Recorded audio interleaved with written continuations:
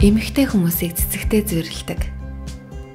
Тэднийг магтах, урамшуулах тусам урагаж үндийж цэцгэлж гайхалтай өнгийг гаргадаг.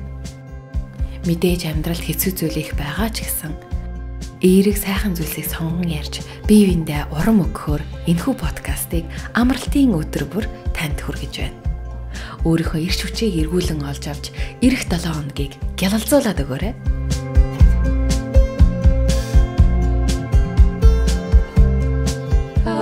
Positive Mongolia. За сайн байцгаана уу эрхэм мэдээ сонсогчдоо дүлгөөн подкаст маань эхлэхэд бэлэн боллоо. За өнөөдөр бид нар маш сонирхолтой зүйлийн талаар ярих чинь энэ бол мэдээж номны тухай. За энэ ном болохоор би сошиал дээр зар тавьсанчлан өглөөний гайхамшиг гэдэг энэ гайхалтай номыг уншаад амьдрал дээр хэрэгжүүлж байгаа амжилттай одоо үр дүнтэй байгаа хүмүүсийг хайсан. Тэгээ энэ дундаас хоёрын одоо бүсгүйг маш олон хүмүүс санал болгосон байгаа. За нэг нь болохоор манай гүлийн нөгөөх нь манай инхма гэдэг хоёр эмэгтэйг санал болгоод тэгээд тэр хоёртойгоо холбогдоод өнөөдөр бид гурав энэ гайхалтай номны тухай бас дээрэс нь амьдрал дээр нь гарсан өөрчлөлтийн тухай ярихаар бэлэн болсон байна. За сайн байна уу? Сайн байна уу? Өдрийн мэнд. Аха. За аа намайг Гүл Даврын гэдэг би Монгол Улсын сургууль, олон улсын харилцааны сургуулийг төгссөн. Гадаад харилцааны ажилтан мэрэгчлээ.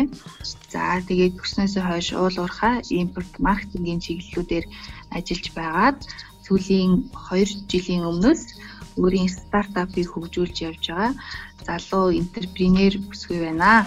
Тэгээ өнөөдөр дуртай сэдвэрээ ярилцах байгаадаа бас маш их баяртай байна. За миний хувьд гэх юм бол 2018 оны 9 сарын 1-ээс буюу яг өдрөөр нь тоолох юм бол одоогийн байдлаар нэг 226 өглөө 5 цагт босоод ингээд явж байгаа юм байна. За ингээд энэ хүү подкастыг сонсож байгаа нийт сонсогчдоо энэ өдрийн мэндийг хүргэе. Намайг Инхма гэдэг. За би Сэлэнгэ аймгийн ерөнхий боловсролын лаборатори зөвлөгөр сургууль англи хэлний багшаар ажилладаг. За Монгол Улсын их сургуулийг англи хэлний багш орчуулагчаар төгссөн. За одоогоор өглөөний гайхамшиг сэлэн группийн админийг хийж байгаа. За тэгээд энэ өглөөний гайхамшиг номыг бол а 18 2018 оны 9 сард уншаад. За тэгээд 12 сарын 1-ээс яг одоо группийн админ болсноор энэ өглөөний гайхамшигыг хэрэгжүүлээд өнөөдөр 136 дахь өдрөө хэрэгжүүлээд явж байна. Аа. Хоёр ч ер нь нэг нь яг эхэлж байхад нөгөөх нь номоо уншиж эхэлсэн байна шүү дээ. 18 он 9 сард тэгсэн байна. Яг дараалал явсан шүү дээ. За тэгээд ном уншихаас өмнөх нь огт номны доторхыг мэдэхгүй байхдаа ямар сэтгэл төрж исэн. Одоо энэ ном ямар хүлээлттэй байсан бэ? Доторхыг нь төсөөлж зөв төсөөлсөн байсан уу эсвэл бодсноос бас арай өөр байсан уу? Ааха. За миний хувьд болохоор би чинь одоо хоёр ойрхон төрсэн. Том маань 3 настай, баг маань 1 настай байхгүй. Тэгээд ер нь хүүхдээ хараад гэртээ сүүлийн хэдэн жил суудсан. Тэгэл өөрийгөө хөгжүүлэх гээл за зав зай одоо 24 цагаа яаж зохицуулж өөртөө одоо хувийнхөө хөгжилд яаж цаг гаргах уу гэл өглөө эртлэн босоод одоо ном унших цаг гаргах гал оролдлого хийсэн боловч бас бүтлгүүтэд байсан л та зуны тэр багтаад. Тэгээ 9 сард нөгөө өглөөний гайхамшиг групп маань 7 сард яг нэг одоо ном маань болохоор 7 сард орчуулагдаж гараад ерөөсө тэр групп маань нэгдсэн юм лээ. Тэгээ миний хувьд яг группт группт нэгдэж орсноор тэнд одоо хэрэгжүүлж байгаа хүмүүстэйгээ хамт нэгдснээр л энэ номны одоо агуулга тий? Одоо энэ ямар ач тустай гэдгийг мэдэрсэн л тий. Тэгэл номоо 9 сард худалдаж аваад уншаал. За миний хувьд бас ялгаагүй өглөөний гайхамшиг группээс анх мэдээлэл авч ирсэн. Тэгээд тухайн үед бас нөгөө гэрдэл магчтайгээ бас уулзаад ингэж нөгөө мэдээллийн улам лавшруулж ирсэн л да. Тэгээд энд бас хэлэхэд гэрдэл магч бас бит хоёр нэг аймгийнх юм байна лээ. Нэг нутгах гэсэн үг. Тэгээд тийм тэгээд номоо болохоор уншихаасаа өмнөх болохоор одоо мэдээж нөгөө мэдээллүүд тавигдаад за уншсны дараах ингээд байдлыг ингээд үзэх юм бол хүлээлтээс бүр илүү байсан гэж хэлж байна. Одоо яг ингээд тий надад ингэж тусч байгаа байдал маш их хүчтэй надад нөлөөлснийг нь бодохоор хүлээлтээс илүү тийм одоо сайн гоё ном байна. Тэгээд дээрэс нь анх яагаад сонирхол татчихсан гэхээр ном маань өөрөө одоо Miracle Morning буюу гайхамшигтай өглөө тий энэ хүртэл өөрөө их тийм хүчтэй сэтгэл төрүүлэхээр гоё үг байсан. Тэгээд номоо уншаад тэндээсээ бүр аргачлалуудаа нарийн ойлгож аваад те маш олон хүн дэлхийн нийтээр ямар олон хүмүүс хэрэгжүүлж чадаж байгаа юм гэдгээс бас сэтгэлжүүлэлт аваад хэрэгжүүлж эхэлсэндээ.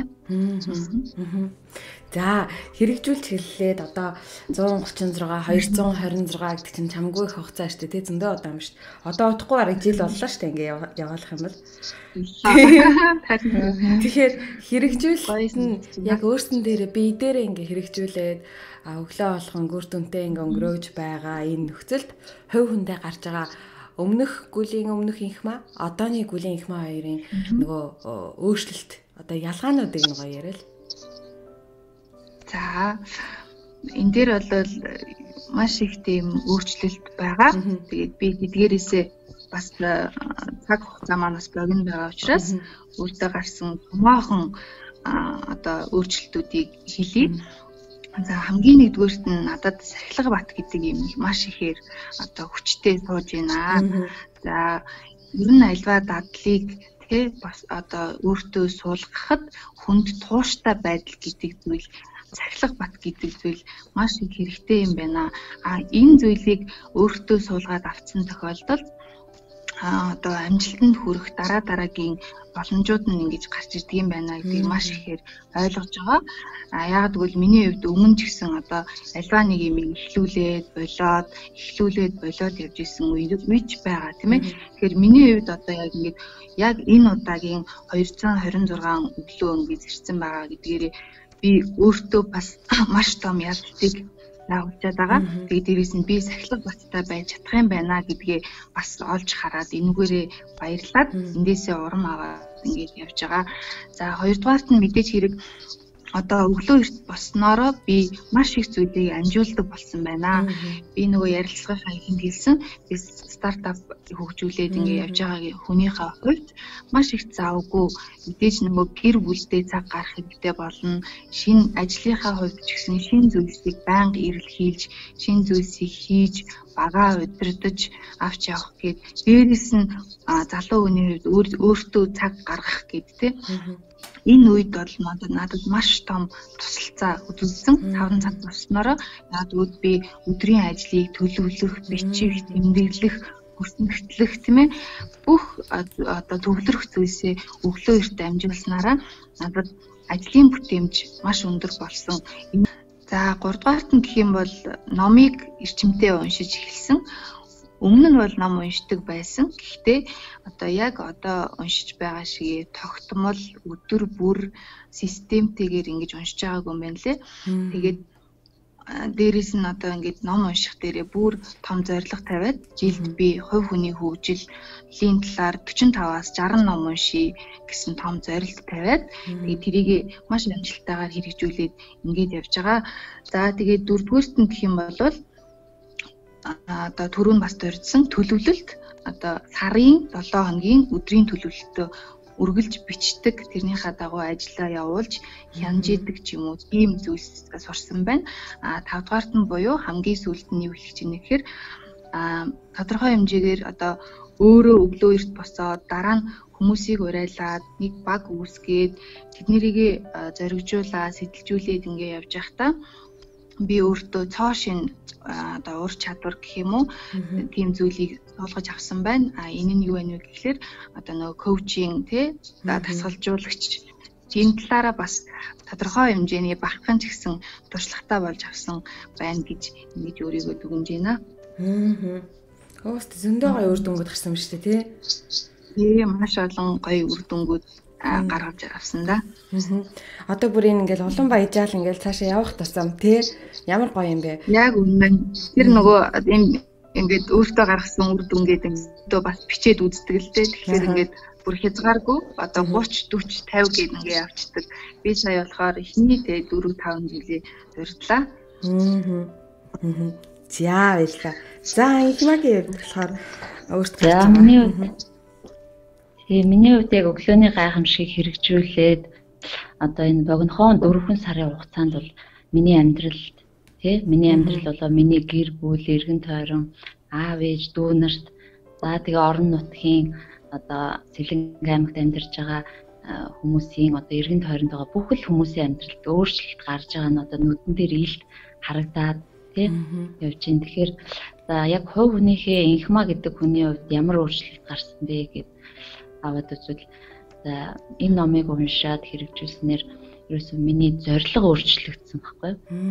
За өмнө нь бол яг за инхма би бол тий одоо багш учраас би сайн багш байх ёстой, ээж хүн, эхнэр хүн учраас одоо сайн ээж байх ёстой, эхнэр байх ёстой гэдэг үднээс л одоо зорилго маань би би байсан бол одоо энэ номыг уншаад за тэгээд группийн админ болчихгонгууд нэг хариуцлага үлээгээд ирэнгүүт ерөөсөө л зорилго маань өөрчлөгдөд ерөөсөө энэ өглөөний гайхамшиг гэдгийг би өөрөө хэрэгжүүлээд ганцаараа зөвхөн хэрэгжүүлээд одоо хөгжих биш те олуула хамтдаа хөгжиё гэж сэлгэн нутгийнхныгаа урайлаад ингээд явж байна.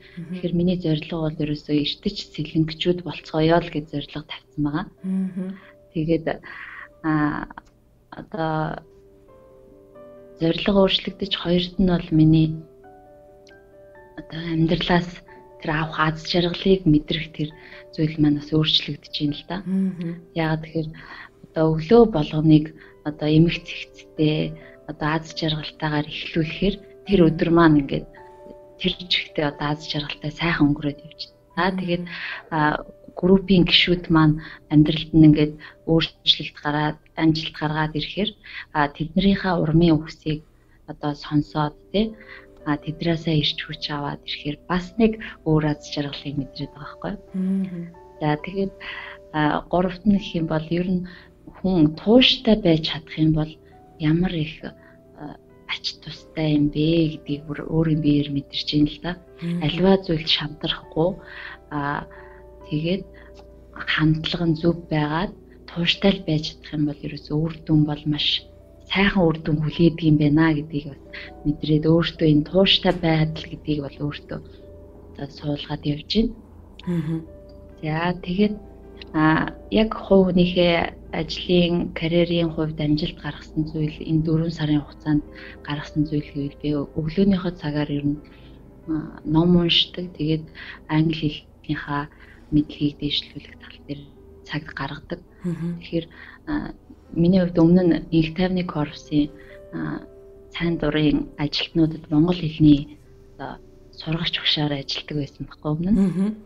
За тэгээд а одоо яг мэрэгжлийн хичээл гэдэг одоо TEFL trainer гэдэг тэр ажлыг бол хийх юмсан гэж би өмнө нь маш их хүсэж мөрөөддөг байсан миний мөрөөдлийн ажил та. Тэгэхээр энэ 4 сарын хугацаанд бол би бол их тайвны корпустай тэр ажилдаа одоо хүсэлт гаргаад тий ажиллах хүсэлт гаргаад CV резюме явуулаад тэгээ сая ерөөсөө нэг 14 хоногийн өмнө яг хариу ирээд аа за тэгээд тэгээд маш олон шалгуурыг одоо ярилцлаганд орж таасны яг тэр мөрөөдлийнхээ ажил тэмцсэн гэсэн хариу авсан байна. Ямар гоё. За баяр хүргэе.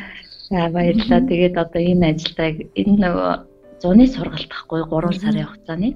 Тэгээд зуны 3 сар ажиллах юм ажилдаа тэнцэн. Тэгэхээр энэ бол миний хувьд маш том үр дүн. Энэ өглөөний гайхамшигын л үр дүн гэж бодож байна. Ямар гоё юм бэ те.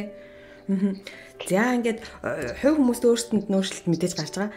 Ингээд эргэн тойрны хүмүүст мэдээж та хоёр маань одоо ингээд уншсан номыг хэрэгжүүлж байгаа хүмүүсийн амьдралын хэвшил байгаа байдал гарч байгаа амжилт үзүүл одоо юу гэдэг бүх юмуд нь нөлөөлж байгаа ах мэдээд. Тэгээд нөгөө нэг эргэн тойрны хүмүүс ч бас ингээд дагаад уншаад эсвэл бас аль түрүүнд нь бас уншсан ч болох юм. Тэгээд та хоёрын нөгөө яаж байгаа хариуцж байгаа групп нөө багийнханд гарч байгаа өөрчлөлтүүд бас нүдэнд нь харагдчихл байгаа ах тий. Тэр өөр өөр хүмүүстээр бас эргэн тойронд байгаа хүмүүстээр гарч байгаа бүр нэг тийм гоё вау гэлээ урам авмаар тийм өөрчлөлтүүд юу гарч ийн тий. Тий. За өглөөний гайхамшиг сэлэн группийн хувьд бол одоо яг 2700 гаруй гишүүдтэй байгаа. Тийм тэгэхээр яг 4 сарын хугацаанд бол энэ гишүүд маань одоо өглөөний гайхамшиг хэрэгжүүлээд номоо уншаад хэрэгжүүлээд яваад ямар одоо өөрчлөлт амжилт гаргасан бэ гэхлээр одоо би эхлээд бол багаас нь эхлээд ба шавнар маань байна. 10 жилийн тий ахлах ангийн дунд ангийн сурагчид маань өглөөний гайхамшиг оюутан гэдэг номыг уншаад за тэр үр дүнгээ одоо хуваалцаж ярилцахад бол одоо тэр сурах үйл явцын тэр хандлага зоригтой тэмүүлэлтэй байгааг ингээд харахад бол маш их үр дүн гарч ийна гэж би бол дүгнж байгаа. Сурагчид маань ерөөсөө одоо шүн орой олон цагаар сууж гэрийн даалгавраа хийж хичээлээ давтдаг байсан бол өглөө эрт босоод хичээлээ хийснээр хичээллийнхаа тэр өглөөний тэр цагийг маш одоо одоо нойр өнгөлөхгүй тий үр дүнтэй өнгөрүүлж гин гэж хэлж гин тий. За тэгээд одоо бусдтайгаа хамтдаа ингэж хэрэгжүүлснээр одоо найз нөхдөдтэйгөө хамтдаа нэг зүг рүү ингэж хамт багаар ажиллаж тий явж гин. Тэгэхээр сурагчид одоо би нэг л зүйлд одоо маш их баярлж байгаа нь бид нар бол одоо 30 гарцсан одоо одооноос эхлээл өглөөний гайхамшиг гэдгийг хэрэгжүүлээд явж байгаа юм л да миний хувьд.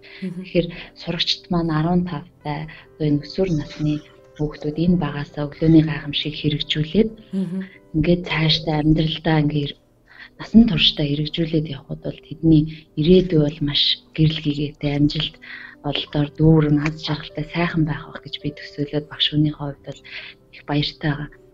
За тэгээд одоо манай нэг гişүүн одоо 40 гарсан нэг гişүү маань яг надаас ном одоо номоо уншичаад надад сэтгэлдээ хэлсэн байхгүй. Тэгэхээр маш их баяр одоо ингээд энэ номыг уншаад их чинь бүр уйллаа.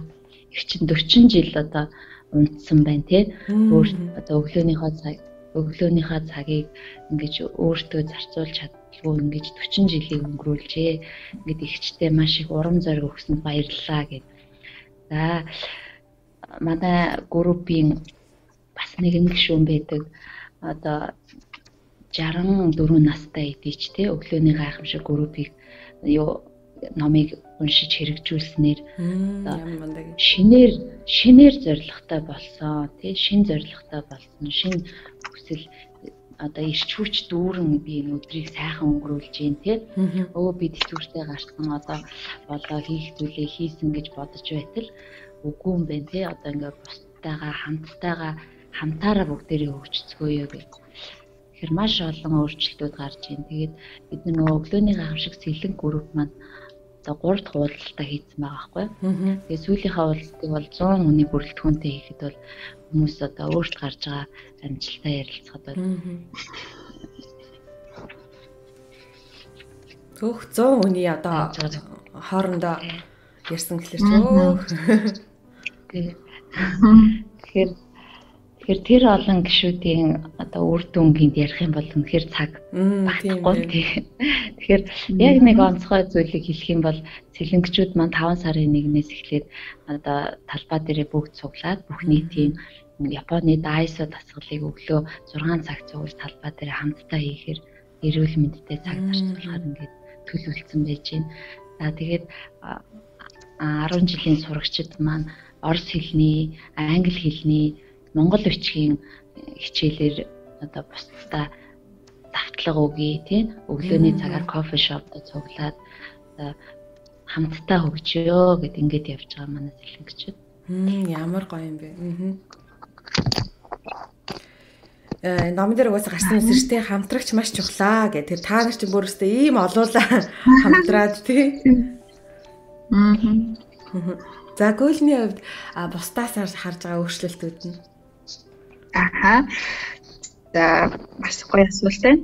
Тэгэхээр миний хувьд болохоор өмнө тренди бүсгүйгээд одоо хуудсыг группийг ажилуулдаг байжгаад тэгээд ном уншдаг болсноос хойш 5 цаг босдог болсноос хойш оюунлаг тренди бүсгүй гэдэг ийм салбар тийм групп үүсгээд тэрэндээ болохоор яг одоо надтай зорилго нэг хөгжий, эрт босъё гэсэн ийм огцудаа бүсгүүчүүдэд уриалаад тэгээд ийм групп үүсгэсэн байж идэг юм аа. Тэгээд бид нар групптэй бас одоо сорилт явуулдаг, өглөө болгон одоо селфи зураг гэдэг чинь тийм селфи зураг оруулж бүртгүүлдэг бие биедээ. Тий, энэ бас нэг сонирхолтой яагаад гэвэл яг одоо селфигээ авахын тулд бид нар бүгдээрээ босцсон байдаг гэсэн үг л дээ. Яаж хийж байгаад. Тий. Тэгээд энэ группийг бүгдээрээ ингээ идэвхтэй авч яваад өглөө болгон бүгдээрээ одоо хувь хүний хөгжилдөө өнөөдрийн төлөвлөлт нь ямар байх юм те за тэгээд дээрэс нь бид нар хамтдаа хамгийн гол нь бас хид хідэн одоо чухал арга хэмжээнүүд зохион байгуулсан. Тэгээд нь юу байсан бэ гэхээр саяхан нэг одоо өвдсөн хүүхэд одоо тусламж хүссэн тийм өвдсөн хүүхдийн пост яваад тэгээд бид нараа өөрсдөө клубээрээ нийлж агаад тухайн өвдсөн одоо хүүхдэд тусалцаа үзүүлсэн, тийм аян өрнүүлсэн.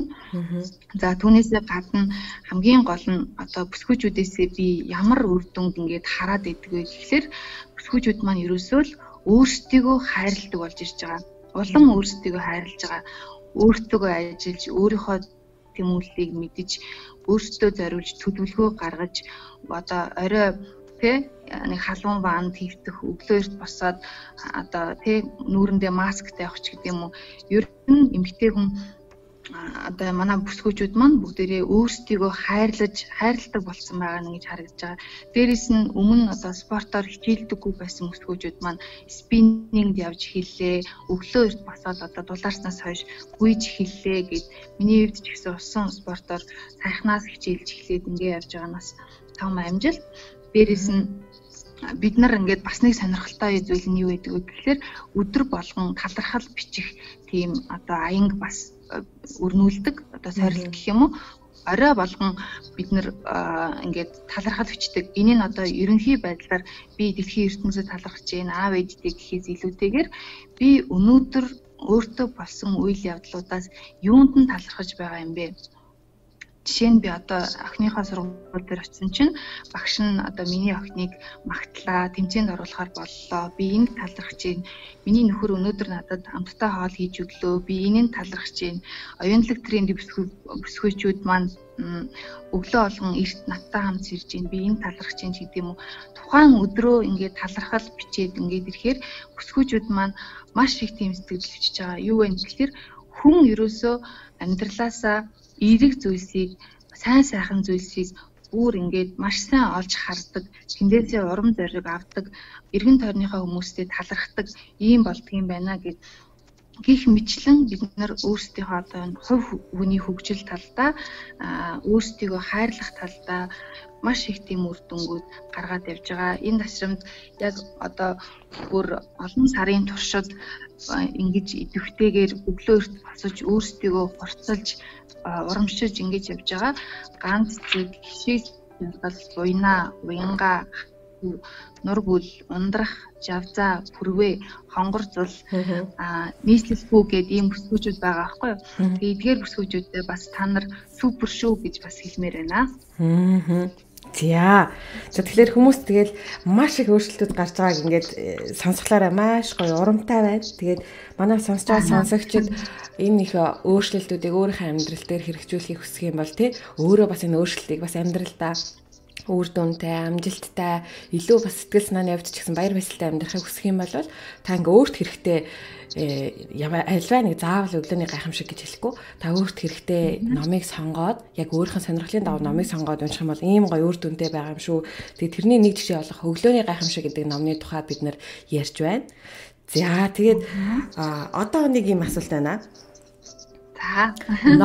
Номыг уншиж байгаа хавцад номноос нэг бүр нэг толгооноос гарахгүй ингээд нэг хамгийн их нөлөөлсөн нэг хэсэг зайшгүй байгаад идэг ш тэ. Тэр хэсэг нь одоо ингээд хүнд амар нөлөөлөл шууд ингээд урам зориг өгчдөг ч юм уу эсвэл амар ухаарлыг өгдөг ч юм уу те. Та хоёрын хувьд яг өглөөний гайхамшиг номны яг аль хэсэг дээр нь хамгийн их одоо бодлогошорж бясалгасан бэ? За би эхлээд явчих юм уу? Аа юу болохоор номыг уншчих дээр нэлийн олон хэсгүүд дээр яг тийм сэтгэл төрдөг л дөө.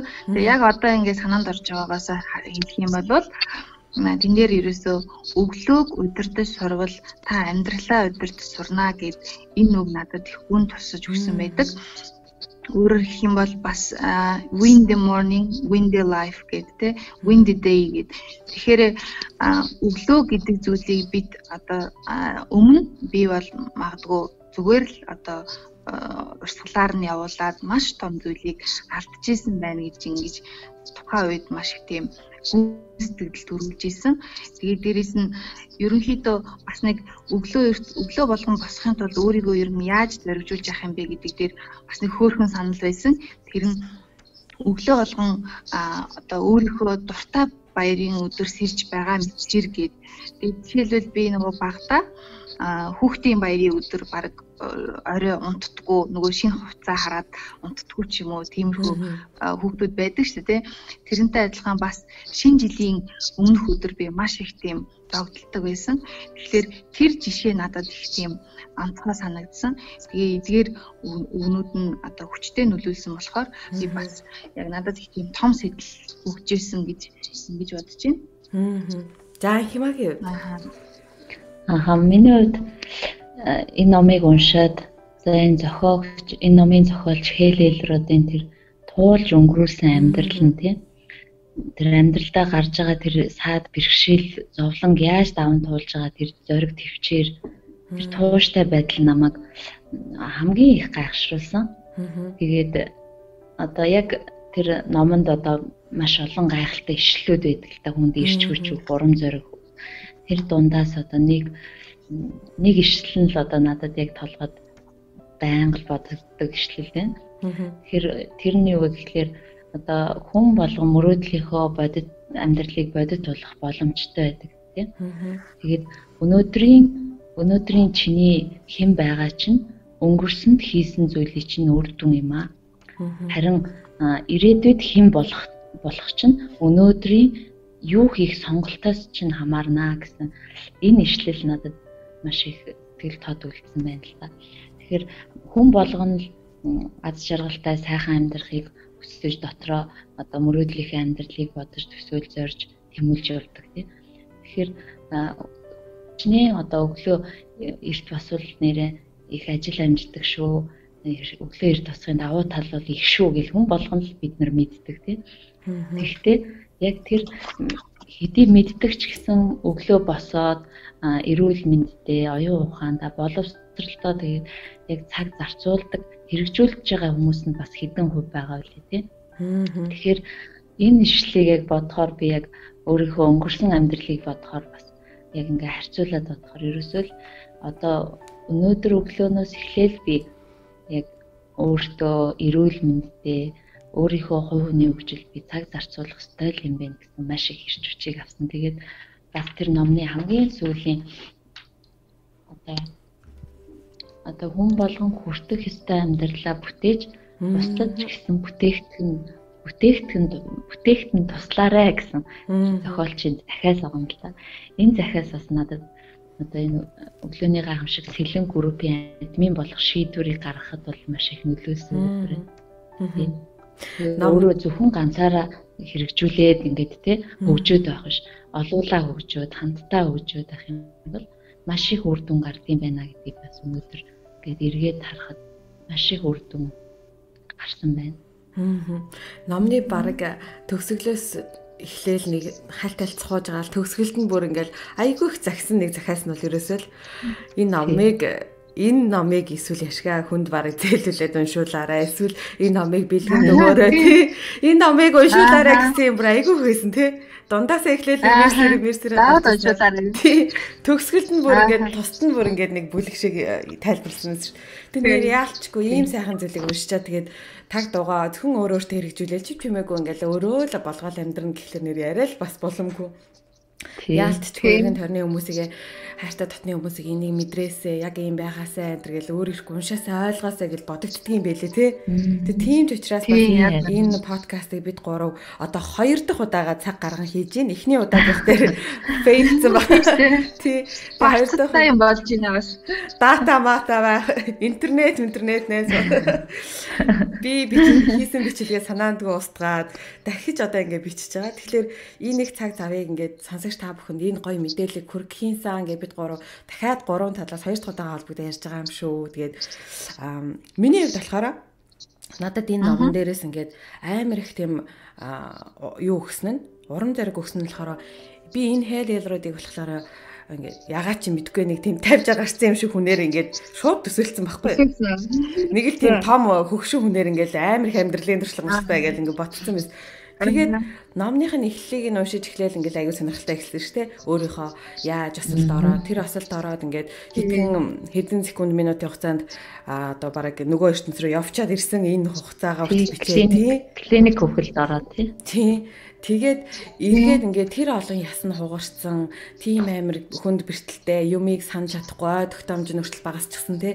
Ингээд хүн харахад бол яаны энэ хүн яаж амьдрнаа хөөхи зээл гэж хэлмээр ийм нөхцөл байдлаас өөрийгөө ялан дэлээ гарч ирээд тэгээд э, энэ номыг маш удаан хугацаанд бичсэн байсан надад их амар урам өгсөн өөрийнх нь амьдралын түүх нь урам өгсөн.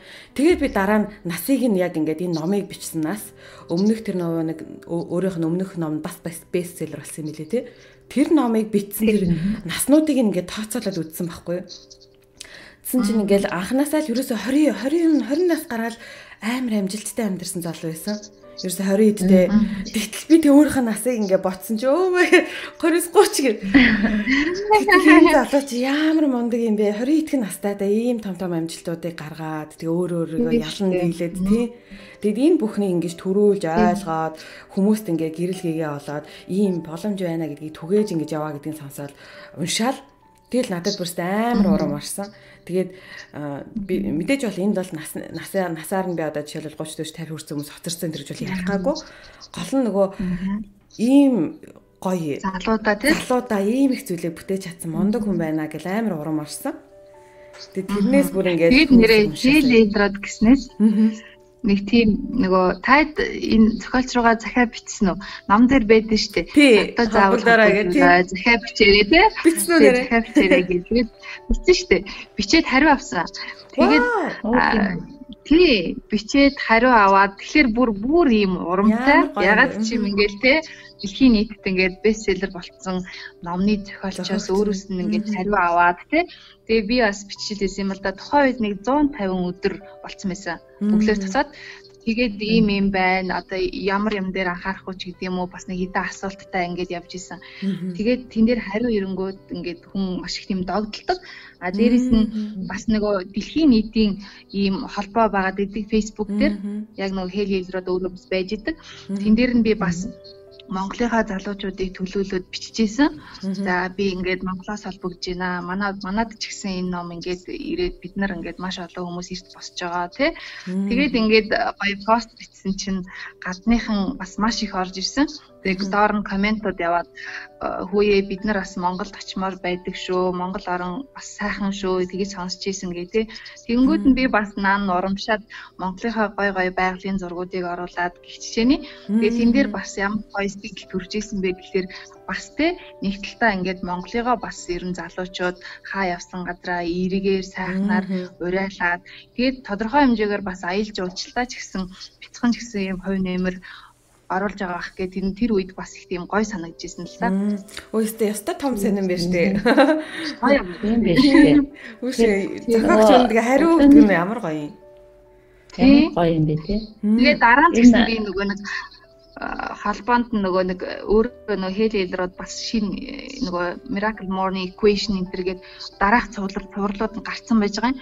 Тэгээ тэр номоо гаргалаа гэдэг ингэнгүүд нь баяр хүргэе За ингээд ингээд бас холбогдоод ер нь ойр ойрхон бичээд холбогдоод хариу аваад байгаа. Өө ямар гоё. Тэр айгүй сонирхолтой гоё.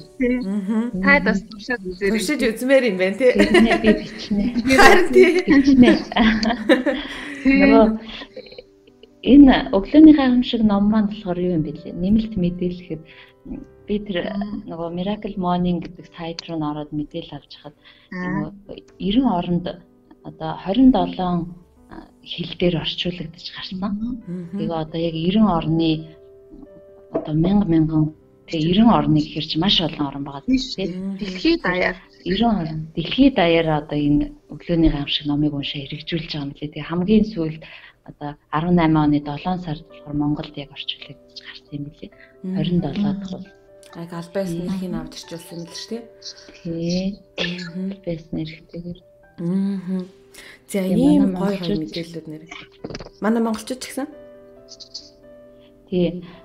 Би тэгээд энэ дээр нэмээд нөгөө өглөөний гайхамшиг үндсэн групп маань бол маш үр дүнтэй хэрэгжүүлээд явж байгаа. Нэр тэр группийн тухай ярихаа зур аргагүй шүү дээ нэрээ. Тий. 17 мянган гишүүнтэй гэсэн тий. Тий. Одоо яг монгол хэлэн дээр альбиасны эрхтэйгээр эрхлэн гаргасан нь дугур хүүгийн гэрэлмаа гэдэг хүн байгаа тий. Тий. Тэгээ гэрэлмаа гэдэг хүн одоо үндсэн группээ нээгээд одоо өнөөдөр 17 мянга хэдэн зуун болсон байв гişүүдтэй тий. Тэгээ нийт 17 аймагт салбар группээ нээсэн. Одоо хэрвээ одоо сонсож байгаа подкаст сонсож байгаа гişүүд мань яаж хаяах вэ? Өглөөний гайхамшиг сэлэнг, өглөөний гайхамшиг дарханч гэдэг юм ингээ өөр хангаа дуурс гэж бичих юм бол тий яг группүүд маань 17 аймагт салбар группээ нээсэн. Тэгээд нэмээд гадаадад бас сурч амьдарч ажиллаж байгаа монголчууд манд бас энэ энэ групп нэгдсэн байгаа. Австралид байгаа оюутнууд бас тэг бүлэг болоод групп болоод хэрэгжүүлээд явж байгаа юм лээ. Хятадд Америкт байгаа оюутнууд хүмүүс маань бас яг хэрэгжүүлээ. Тэгээ Монгол руу номоо захиад захидаг гэж байгаа байхгүй. Монгол руу намаа захиад ингээ явуулаад илгээмжээр. Бид хоёроос нэг инэттэй мас жижиг. Та хоёроос номыг чи хүмүүс гойж гин үү? Номоо өгөөч гэж гуйж гин үү? Та хоёр номоо зээлэх тал дээр ер нь юу гэж бодож байна? Номоо өгөх дуртай байгаа юу, дургүй байгаа юу? Би бол ингэж бодож байна. За миний хувьд миний хувьд би нөгөө ном уншихдаа яг ингээл өөрт яг таалагдсан хэсэг те ингээл дахиж дахин унших хэсгүүдээ ингээд тодруулагчаар тодруулсан. Тэгэхээр яг надад өнөөдрийн хувьд бол надаас яг ном уншия гэж гойсон юм бол байхгүй л юм л та. Тэгэхээр миний өглөөний гайхамшиг ном маань бол ингээл ширээний ном гэдэг шиг ширээн дээр ингээд байждаг. Тэгээд манай сэлэнгчүүд манад яг одоо өглөөний гайхамшиг ном бол бүгд л аваад уншиж байгаа. Тэгэхээр бүгд ширээ дээр нь л байгаа гэж боддог тий ажиллагаа. За миний үед болохоор аа би бас одоо зав зав гайгүй үед болохоор дэвтэр дээрээ тэмдэглээд За жоохон одоо зам муутай ч юм уу тийм байх юм бол ном дээрээ тэмдэглээд явцдаг. Өглөөний гайхамшигын үед болохоор би бүр ингээд дэвтэр дээрээ яг бүр нэг нэгэнгүү маш сайн бичиж зоригжуулт гэхэд хүртэл гурван нүүр зоригжуулт бичиж бүр ингээд баг нэг дэвтэр болцсон. Тэгэхээр баг ном ном надад байх шаардлагагүйгээр тэгж гоё тэмдэглэл бичиж авцсан байгаа. А тэгээд ном номыг бас ганц хоёр хүмүүс асуусан өгөөд буцаагаад аваад ингээд явж гин. Зээлийг үзээлнэ зээл. Би тэгвэл хамгийн харамчин юм биш үү? Би нөө номон дээр ерөөсөө өгөхгүй байгаа ш би яна одоо сонсож байгаа хүмүүс асуусан юм байна. Манай Шведд байгаа хүмүүсээс бас ном асуусан. Тэг би өмнө нөгөө нэг хоёр удаа номоо өгчээсэн байхгүй юу? Тэгтээ өөр ном. Тэгээ тэр номоо буцаж авч чадаагүй эргүүлээд холбогдоод авах гэхлээр нөө нэг шиг номоо одоо нэхээд энэ одоо өглөө гэж бодох байх гэж тал өөхийг хүлээгээд хүлээгээ альсан хүлээгээл ингэж жил болчихж байгаа байхгүй. Тэгээд за за одоо ингэ нөгөө хүмүүс баг мартцсан юм шиг байна гэд. Тэгээд тэрнээс хойш хашраад тэгээ одоо хүмүүс ингэ ном асуугаад айгүйх ном асуугаад байхгүй. Тэгэхээр н одоо би ерөөсөө ингэж хэлээд байгаа энэ ном чинь нөгөө нэг удаа уншаад хайчих тийм одоо ном биш ээ. Энэ ном бол ингээд ширээний ном тийм дахин дахин эргүүлэх шаардлага гарч уучлаарай. Би тэгээ өөрөө өөртөө зориулаад дээр ингээд зөндөө угаасаа зураад бэлдээд ингээд янзлсан байгаа учраас энэ номыг мань угаасаа та нарт унших юм болж бас нэг төвхтэй ах. Дээрээс нь аа та яг өөртөө үсрээ энэ номноос бол одоо энэ 16 мянгаас нь илүү хэмжээний мэдээлэлтэй өвчнөө үн цэнтэй мэдээллийг авнаа. Тэгээд зүр өөрийнхөө төлөө 16 мянган төгрөгөд зориулж гаргаад номоо яаж гээл нэг газар суулгаад 14 намайг ном зарж байгаа мөг нэ намайг. Гү гү би зараагүй шүү. Тэгэхээр ном гэдэг зүйлийгээ маш гоё өөртөө үр дүнтэй үлдээж уншия гэж бодож байгаа бол хин нэгнээс номын зээлэх биш өөрөө зориулт гаргаад номоо худалдаж аваад өөрөө яг тэрнийгээ байнга ингээ ашиглаад гарын авлах шиг тий. Ингээ явах юм бол энэ төрлийн номыг шүү дээ. Хувь хүний хөгжлийн иймэрхүү номнуудыг бол энэ өөр өөртөндөө л зориулаад авцсан нь дээр. Анхнаасаа л зориулт гаргах чадсан юм чинь цаашдаа тэрнийхээ үр дүн хэрэгжилтэн ч гэсэн өөрөө хариуцлагатай бас байна шүү дээ яг байна. Тэгээ өглөөний гайхамшиг ном маань яг үндсэн ном маань бол 14900 төгрөгийн үнэтэй ном байгаа шүү дээ Тэгээд нөгөө өглөөний гайхамшиг тийм. Тэгээд одоо бол бүх нөгөө номын дэлгүүрүүд тэгээд номгийн салбаруудаар зарагддаг болохоор хүмүүс ер нь бүгдээрээ л аваад хэрэгжүүлэл явж байгаа. За одоо та хоёрын яг хувь хувийн өөрсдийнх нь одоо энэ 136 өдөр 226 өдрүүдийн өглөө бүрийн хийж байгаа тэр хөвшил болсон рутиныг мэдмээр байна. Өглөөнийхөө хугацааг хідэн минутаар яаж хуваарлдгийг эсвэл яг өөр өөртөөх нь мэдээж энэ номноос бол мэдээж нэг юм схем ингээд зааварчилгаа иймэрхэн байдаг. Гэхдээ та өөр өөртөндөө ингээд хөвшүүлээд өөрийнхөө хэв маяг тохируулаад өөрчлөлт ингээд хийж болно гэсэн байсан тий. Тэгэхээр та хоёрын хувьд яг ямар ямар байдлаар өглөөнийхөө цагийг үр дүнтэй ашиглаж байгаа вэ? За а нам дээр болохоор дэлгүүрийн илдгээр бас нэг 6 зүйлийг санал болгосон байдаг. Та эдгээр 6 зүйлийг хийх юм бол таны одоо өглөөний цаг маань маш үр бүтээлтэй. Тухайн өдрийн туршид та таны ажил эмгэгцтэй байх а бүх тийм үндэс суурь нь болтгоо гэж үзээд ийм 6 зүйлийг санал болгосон байдаг. Энийг товчхондоо хэлэх юм бол бясалгал, зоригжуулал, төсөөлөл, дасгал, уншлах, тэмдэглэл гэдэг ийм 6 юмд байгаад байгаа. Аа миний хувьд болохоор өглөө алган 5 цагтаа босдог.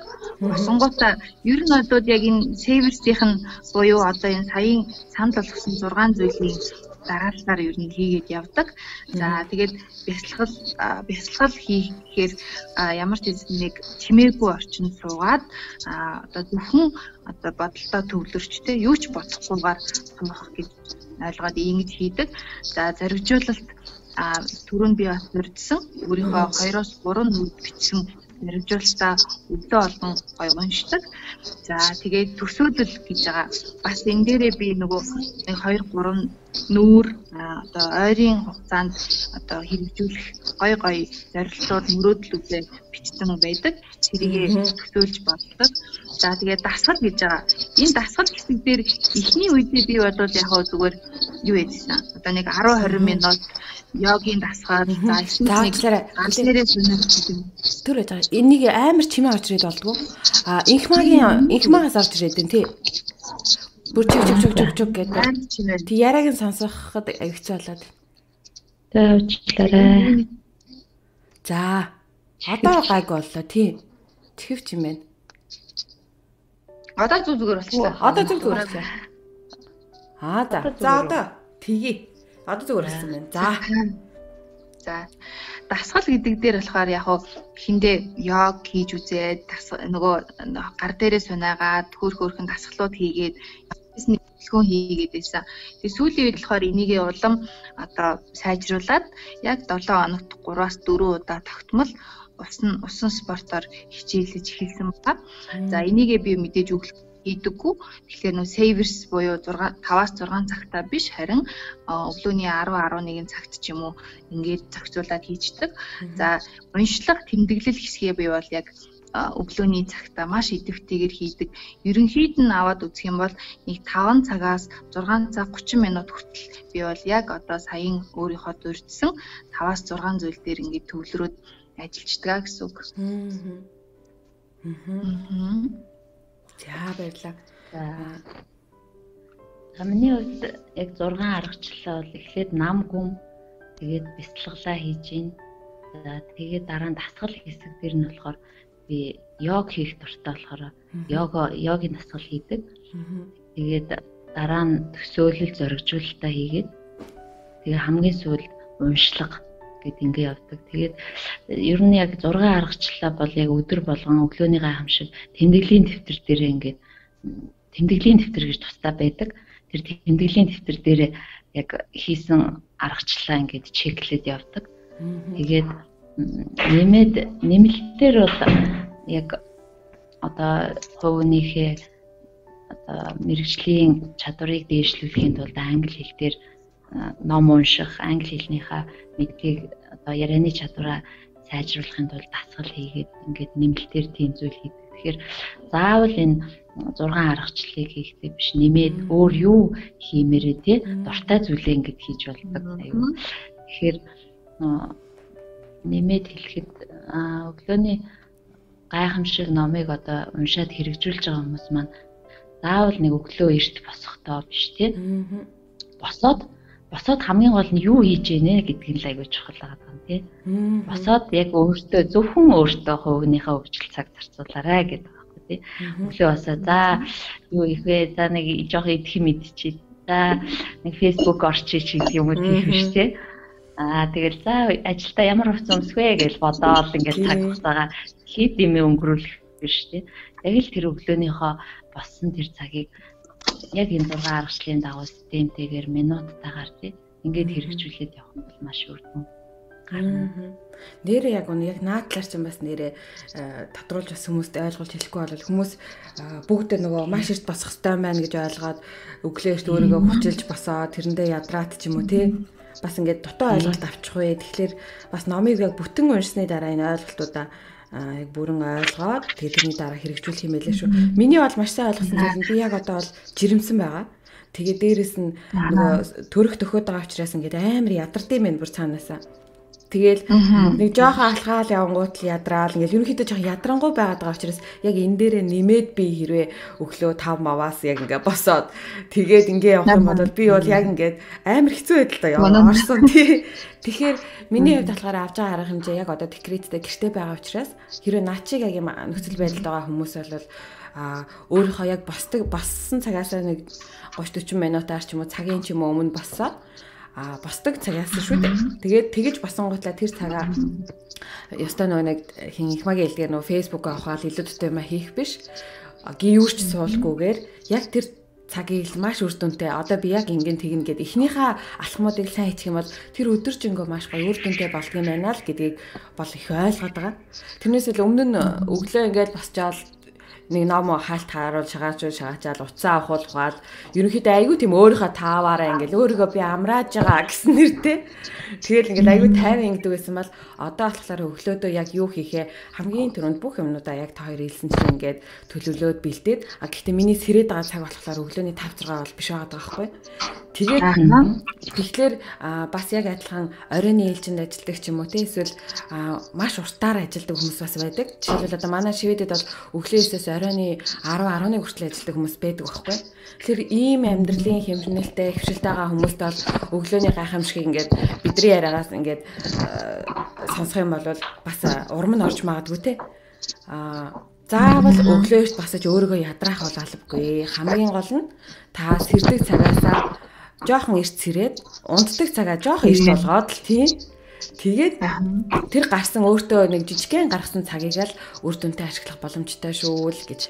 За. За тэгээ одоо одоо болохоор номыг огт уншаагүй байгаа. Аа яг хаанаас нь юугаа эхлэхээ мэдэхгүй байгаа хүмүүс асуунд байгаа. Номыг мэдээж уншаагүй юм чинь яг яаж эхлэхээ мэдэхгүй байж таараа. Тэгэхээр яг өглөө одоо энэ яриаг подкастыг сонсоод анх удаа номны тухай сонсоод өглөө цэрхийг хүсэж байгаа өөрийгөө үр дүнтэй амьдруулахыг хүсэж байгаа бас зөндөө олон хүмүүс байгаа. Тэгэхээр тэдгээр хүмүүст та хоёрын зүгээс одоо ямар зөвлөгөө өгөх вэ? За а одоо юуны төрөнд ингээд те бидний ярианаас эсвэл ямар нэг байдлаар одоо урам зориг сэтэлжүүлж аваад за ингээд өглөө 5 цагт босё гэж шийдлээ гаргаж сууж байгаа одоо залуу хүн ч юм уу тий одоо бүсгүй танд одоо маш тийм амжилт хүсье. За тэгээд энэ дээр нэг анхаарах хэдий юм бас байгаад идэг. Юу гэдэг вэхээр бид нар альва ямиг бас хит хөндрүүлж бодох гээд байдаг. Одоо жишээлбэл 5 цагт басна гэхлээр л за бүр одоо ямар нэг байдлаар маш хэцүү гэж ингэж ойлгоод байдаг. Тэгэхээр би бас нэг юм логикийг хэлэх дуртай. Юу вэ нүү гэхлээр та өмнө 23 цагт босдог унтаад а 7 цагт бас сэрдэг байжээ. Тэгвэл одоо болохоор та би таны юу гэж зөвлөдөг вэ гэхээр 22 цагт унтаад 6 цагт босоо. Эсвэл 21 цагт унтаад за 5 цагт босоо тий. Тэгэхээр ерөөсөө таны унтж байгаа цаг хугацаа ерөөсөө багасаагүй. Та өмнө 8 цаг унтдаг байсан бол одоо ч гэсэн 8 цаг унтж байгаа. Тэгэхээр тэн дээр таны бие бол ядрахгүй. Тэгээд ном дээрээ бас байж идэг.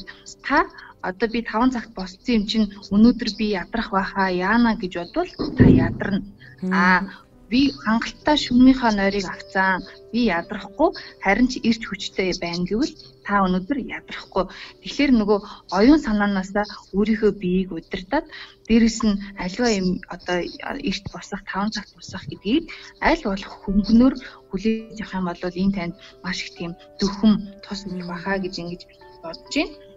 А дээрээс нь дахиад нэг анхаарах ёстой зүйл байгаад идэг. Тэр юу вэ гэхээр та ингээд нэгэнтээ 5 цагт босъё, 4-т босъё гэж ингэж шийдсэн бол та амралтыг маш сайн төлөвлөж амарчах хэрэгтэй. За жишээлх юм бол шөнийхөө нойрыг маш сайн чанартай авах хэрэгтэй. Өдрийн туршид магадгүй завгүй байдаг бол тийм оройдоо яг одоо э, амрах цагта эрт орондоо орох хэрэгтэй. Дээрээс нь одоо маш тийм тэжээшлэг шүлжтэй хоол те витамин ч гэдэм үү хэрэгтэйтэй амин димээ авч явах хэрэгтэй. Яагаад гэвэл хүн гэдэг амьтны одоо хамгийн гол хэрэгцээ нь мэдээж амралт идэх байгаа те энэ зүйлсээсээ бид энергийг авч идэг. Тийм учраас өөрийгөө ингээд нөгөө ядраахгүй яг тэнцвэртэйгээр энэ дадлыг суулгаад ингээд аваад явахын тулд эхнээсээ та эдгээр зүйлс дээр бас анхаараарай гэж ингээд зөвлөмөр байна. Аа. Аа. За баярлалаа. За ихмаг явд.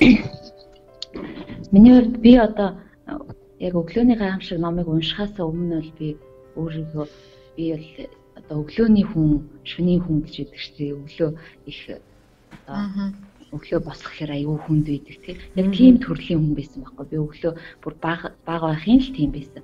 Одоо нойрыг одоо унтаж э, бардаггүй сэрж бардаг юм а гэл ингээл ээж аавын тий тэр захиас үгэн тэр яагаад ч өглөө би бол ирт бас босхгүй л гэж өөртөө бүр ингээд кодлогдсон гэх юм уу.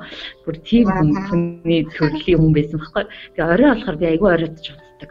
Тийм юм. Тэгээд би бол одоо тийм хүмүүс бол маш их байгаах гэж бодож инeen сонсогчд дунд маань. Тэгэхээр тэр хүмүүстэй захиж хэлэхэд одоо яагаад би ингээд өглөө эрт босоод ингээд 130 тонгийг ингээд одоо 4 сарыг өнгөрүүлсэн байна вэ гэхээр яг хуу нэгдүгээрт би номоо авч уншсан тий уншаад тэндээс маш их одоо сэтэл ирч хүч авсан байна. За хоёрдугаарт хамгийн том чухал нөлөөсөн зүйл маань юу гэхээр би яг тэр нөгөө групптэй өглөөний гайхамшиг группт нэгдээд одоо сэлэнг группийн админ болоод за тэгээд яг энэ одоо 130 тоногт бол шантарч исэн үе бол байгаа мэдээж.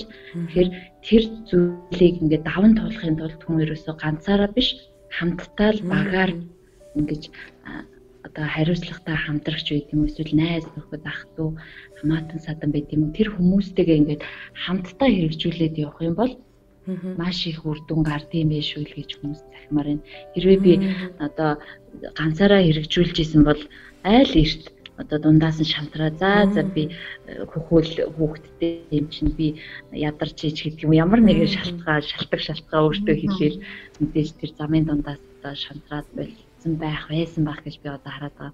Тэгэхээр бид нар монголчууд бид яг бие биенээсээ ингээд хамтдаа нэг баг болоод ялваа зүйлийг хийгээд ингээ хэрэгжүүлээд явах юм бол илүү үр дүнтэй шүү гэж л захимаар байна да. За маш их баярлалаа. За та хоёрын яриан дундаас маш их мэдээллүүдийг авлаа. Тэгээд дөнгөж уншаад байсан миний хувьд бол өстө нэрээ та хоёроос суралцах зүйл маш их байгаа юм байна. Маш сайн ойлгож авлаа. Манай сонсогчдод бас аа ойлгож авсан байх, сонссон байх. Тэгээд өнөөдрийнхээ подкастыг дуусгахаас өмнө та хоёрын одоо энэ юун дээр номноос ч юм уу эсвэл өөртөө хувийн зүгээс ч юм уу өгөх нэг сайхан урмын үгээр энэ подкастаа дуусгая. Хүсэх юм бол номноос ишлэл татсан ч болно. Эсвэл өөртөөхөө хувийн үгээ захиасаа хэлсэн ч болно. За миний хувьд а одоо улс их орны хөгжил гэдэг бол одоо хувь хүний хөгжил байдаг тийм. Тэгэхээр одоо энэ хөгжилтэй орнууд бусад хөгжилтэй Америк, Япон, Солонгосчууд яагаад хөгжөөд одоо өндөр хөгжилтэй сайхан амьдраад монголчууд яагаад ингэж болохгүй байна тий? Одоо маш их асуудал бидэнд байна вэ гэдэл ингээл эргээд бодоод харахад бол ерөөсөө л бид нэр одоо бусдаас ямар нэгэн өө шалтгаан шалтгаан хайх биш тий. Өөрчлөлтийг өөрөөсөө эхлээд тэгээд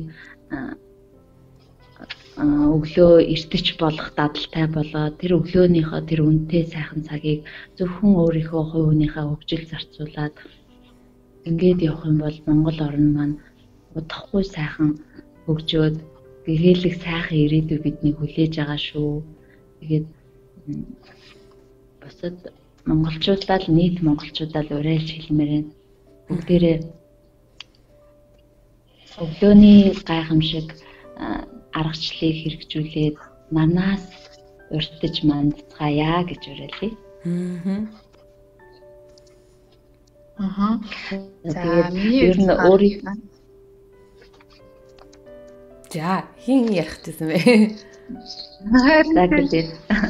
Саг үзсэн нэрээр. За. За миний хувьд болохоор а одоо подкастыг сонсож байгаа бүх залуучууд бүх хүмүүсийг эрт босцгоё өглөөг ялцгаая гэж ингэж уриалж байна. За түрүүн их маа маань бас хэллээ. бидний ирээдүй залуу хүмүүс улс их орны иргэн бидний гарт байна. Тэгэхээр хувь хүн тус бүр хувийнхаа хөгжилд анхаарч эрт босож ялангуяа эмэгтэй хүмүүс, их хүмүүс бид бол одоо хүүхдүүдийг хүмүүжүүлэх улс их орны боловсон хүчнийг бэлдэх ийм бүсгүйчүүд, эмэгтэйчүүд байгаа учраас өөрсдөө маш сайхан хөгжүүлцгээе, эрт босцгоё гэж ингэж уриалмаар байна. Дээрэс нь Юундлаг байцгаая, оюунда хөрөнгө оруулцгаая, ном авахд мөнгө харамлтгүй байцгаая гэд ингэж уриалж байна. Аа. За баярлаа. За би подкаст өндөрлөхөөс өмнө дуусахаас өмнө нэг фэйсбүүкээс уншижсэн нэг постыг та хоёроос уншижсэн байж магадгүй. Уншааг бол та хоёрт бас хэлчихье. А юунд сонсож байгаа хүмүүстээ бас зориулаад нэг айгүй чухал юу байсан пост байсан нэг охины бичсэн. Тэр охин болохоор багада багада гинэ. Одоо өмнө нь Хүнсний дэлгүүрт маш удаан юу яасан бэлээ. Аа худалдагч хийсэн Монголд. Тэгээд тэр охин юуны сургуулийн хажуудалд нөө дэлгүүрт худалдагч хийдэг байхдаа өглөө яг хүүхдийн хичээл орох цаг төгссөн тэр үед аа яг эцэг эхчүүд хүүхдүүдэд дагуулад орж ирдэг юм байна л да өглөө. Тэгээд тэнцэнээс ингээд тэр охин өөрийнхөө төрсэн сэтгэгдлээр ингээ пост хийсэн байсан. Юу вэ гэхлээр хоцорж ирж байгаа ээж аав нар хүүхдүүдэд өглөө нь өглөөний цайг нь уулгаж амжаагүй оройт сэрцгээгээ. Тэгээд хүүхдээ ум хум ингээд хааш яаш хувцалсан хүүхдээ өстө сандарч яарч оруулж ирэл за юу гэх вэ за гэс нэг идэх юм авчих гээ өглөөний цагийн гэрт нь уулгаж чадаагүй. Тэгээд нөгөө хүүхдээ чинь сонгуулуулаад тэгэл хүүхд нэг бичээ мичээ чихлаад мэхлаад ундаа мундаахан л авдаг гинэ. Тэгээ тийм юм ахуулуулаад тэгэл за хурлуулал гараа гараа гэлсэн. Сандралдаал бошуухан юу ягаал одоо 100000 төгрөг жишээлбэл өглөө 5000 төгрөг өглөө гэж бодоход тэрнийхээ хариултанд нь хүртэл тааруулаад ингээд юм хум авчдаг гинэ. Ерөнхийдөө ингээд мөнгөндөө хандж байгаа байдал нь чих үргэлгэн дээрэс нь хүүхдтэй хандж байгаа байдал нь хүүхд нь юу ч хамаагүй авч явахтал тэрийг нэг цаа хурцлуулт гээл ахуулчихдаг тий. Тэгэл хүүхдээ чирээлдэн хүүхд нь хувцсан хувцсан цүнх мөнгөнд далиж мэлээзэн ингээл аим хааш хааш ингээл ороод явдаг гин. А зарим эцэг эхчүүд болохоор ингээд гаднаас орж ирэхдээ өөрөө ч эмгэгчтэй хувцалцсан, өөрөө ч тайван а сургуулийнхын цаг нь арай болоогүй. Тэгэхэд хүүхэд нь бас маш тайван орж ирээл за миний хүү яг юу авах юм гээл Тэгэл хүүхэд нь тийм юм аав гэхлээр за миний хүн наадах чинь чихэр ихтэй ундаа байна, тийм байна, юм байна гэж чөлөөтэй ярилцах цаг хугацаатай дэлгүүрээс орж ирээд юмаа сонгоод яг юмаа авлаа, хариултаа аваа тоолоод авлаа ч гэдэм үү те. Ингээд эцэг эхчүүд энэ хүүхдүүдийн э, худалдан авалтын байдлаас нь өглөө хичээл эхлэхээс өмнөх энэ байдлыг нь хараад тэр охин дүгнээд битсэн байсан. Тэгээ манай монголчууд болохоор ингээд оройтож сэрээд тэрэн дээр өөртөө ингээд нөгөө анх хүүхдийн хоол цагч бэлдэж амжаагүй хүүхдтэй ингээд онцгүй юмнууд авч өгч идүүлдэг тий. Тэгээ мөнгөндөө юм хайн ханддаг гэх мэтчлэн а харин яг ингээд босоод бүх юмаа зохицуулаад ингээд арчаатай байгаа ингээд ээж аав нарын байдлыг харахаар ингээд шал өөр ханддаг манддаг гэж битсэн байсан. Тэр энчээрээс бас ингээд ядчил хамгийн наазах нь одоо хүүхдүүдэд хичээл сургууль хийж өгтөө. арай жоохон эртгэн босоод тий аажуу тайван хүүхдээ хоол цагийн нуудгаад өглөө сургуульд нь тайван явуулаад ороход хүүхд төрөл хичээлдээ суухад төвлөрсөн тий. Тэр бас ингээд айгүй нэрэл энэ манай Монголын нийтлэг дүү үзэгдэл байгаа байхгүй ингээд багийнхаа амьдралуудыг бодгож хичээлдээ дандаа хоцорж явдаг ч юм уу тий. Ажилдаа яараад хоцролтоо олочдөг энэ төр гэл. Тэгэхээр энэ тал дээрээс бид нэр маш гоё анхаарчих юм бол магадгүй ирээдүйд манай Монголд маань өглөөний 6 цаг гэхэд л станаар машин шиг нийтийн тээвэр мөрдөөс ингээл амар явж мовдөг төгжрээ арилжчихсан энэ тийм сайхан ингээд болчих واخа гэж найдаж байна. Тэгэхээр манайхаа өнөөдөр та бүхэн сонссон бол За өөртөө цаг гаргахыг хичээгээр өөрийгөө хөгжүүлэхийг хичээгээрээ бүр болохгүй бол өөрийнхөө үр хөвгөдөд жоохон ч гэсэн цаг хугацааг илүү гаргаад эртлэн босож ингэ сурах хэрэгтэй юм байна шүү гэдгийг дахин дахин хэлээд тэг юм бол та тэр номыг бас аваад эхнээс нь дуустал уншаад тэгээд хэрэгжүүлээд нэг үзээрэй гэж хэлээд өнөөдрийн подкастыг өндөрлөж байна. За тэг цаг гаргасан та хоёрт маш их баярлалаа. За баярлалаа. Баярлалаа. За баярлалаа. Баярлалаа.